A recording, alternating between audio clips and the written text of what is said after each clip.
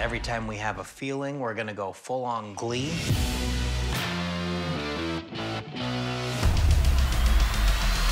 This is why I don't hang out with you people.